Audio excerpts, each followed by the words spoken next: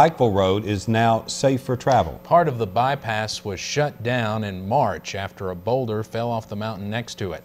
WYMT's Alex Casper Peak spoke to business owners to see how the road closing affected customer traffic in their stores.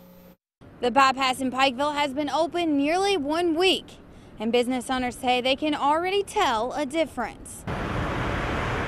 During construction, many businesses on the bypass served less customers. It made it difficult to come here and to here because you, the way you had to route through the town to get to it, it was just so inconvenient that that's why I just stayed away and stayed at the other end of it. The owner of Dorsey's Dairy Bar tells me that they have seen two to three times more business now that the construction is finished.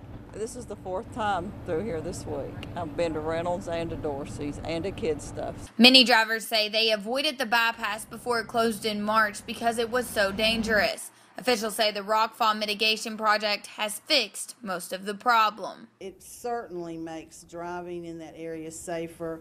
Um, we'll probably be able to take down the signs that say no parking on shoulder. Highway officials say the process used to stabilize the mountain will last more than 70 years. Construction on the bypass finished last Friday. In Pike County, Alex Casper Peak, WYMT Mountain News.